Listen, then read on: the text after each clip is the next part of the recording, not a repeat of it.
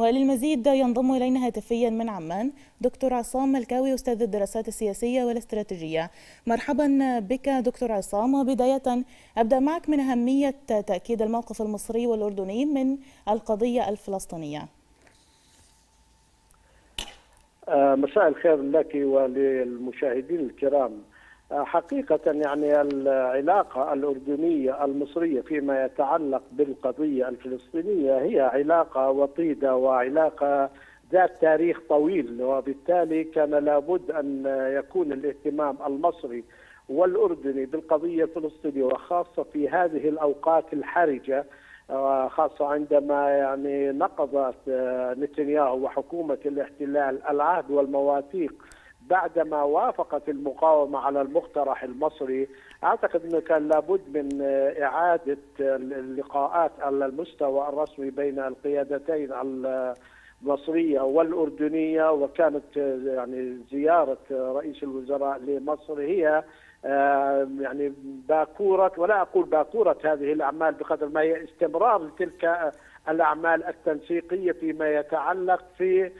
اليوم التالي أو في مجريات الحرب حتى اليوم التالي للحرب في غزة. لذلك لا يستبعد يعني أن تكون هذه العلاقات علاقات وطيدة وعلاقات ذات اهتمام بالموقف الفلسطيني والمراعاة للأزمة الحادة التي وصل إليها أهلنا في فلسطين وفي قطاع غزة. وبالتالي كان يعني المواقف مواقف ذات يعني قيمة ومواقف مشرفة. وهذا يعني ليس جديد لا على جمهورية مصر العربيه ولا على المملكة الأردنية لأن ارتباطنا الديموغرافي والجغرافي بفلسطين ارتباط وثيق منذ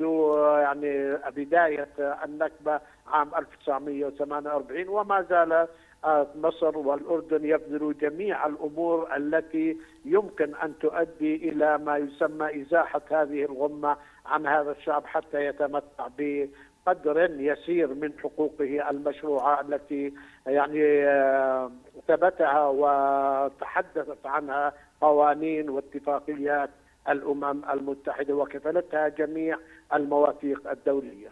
نعم دكتور عصام في هذا الإطار يعني الجهود المصرية حقيقة مستمرة منذ ثمانية أشهر وحتى اللحظة لمحاولة التوصل لاتفاق للهدنة يعني ينهي معاناة الشعب الفلسطيني كيف ترصد هذه الجهود في الوصول لحل سياسي يعني يرضي جميع الأطراف؟ حقيقة الحلول السياسية المطروحة سواء كانت يعني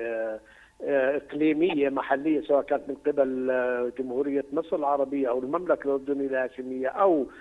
من ناحية الناحية الدولية كلها لم تؤتي ثمارها مع هذه الحكومة اليمينية المتطرفة وبالتالي هذه الحكومة يعني حاولت أن تحرج الدول العربية ذات العلاقة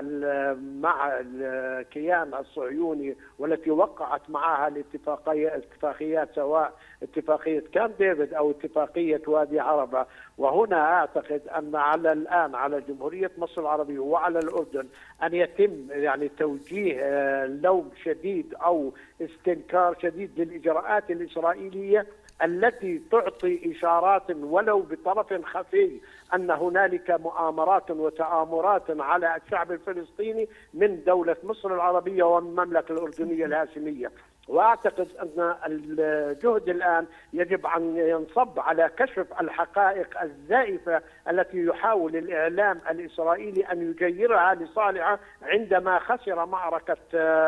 طوفان الأقصى ومنذ 7 أكتوبر حتى هذا اليوم. ولذلك كان لابد أن يكون هذا الاجتماع وهذه العلاقات المتميزة بين الأردن وما بين مصر حتى يثبتوا للعالم بالدرجة الأولى وإلى الكيان الصهيوني وحكومته المتطرفة بأن الشعب العربي والأردني والمصري بالذات ليس لديهم أي مصالح يمكن أن يفرط فيها لصالح الكيان الصهيوني على حساب الإخوة الفلسطينيين. وأعتقد أن هذه هي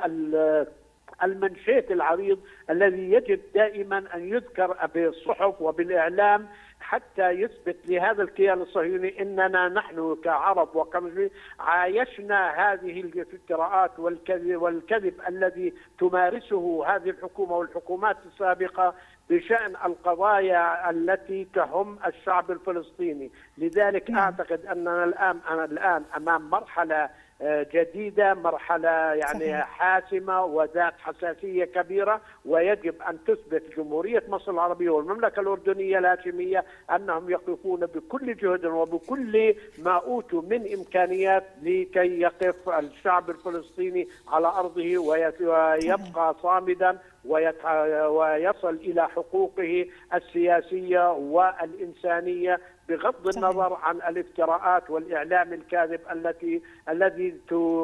تطلقه أو تشيعه حكومة نتنياهو المتطرفة. بكل تأكيد أشكرك شكرا جزيلا من عمان دكتور عصام ملكاوي أستاذ الدراسات السياسية والإستراتيجية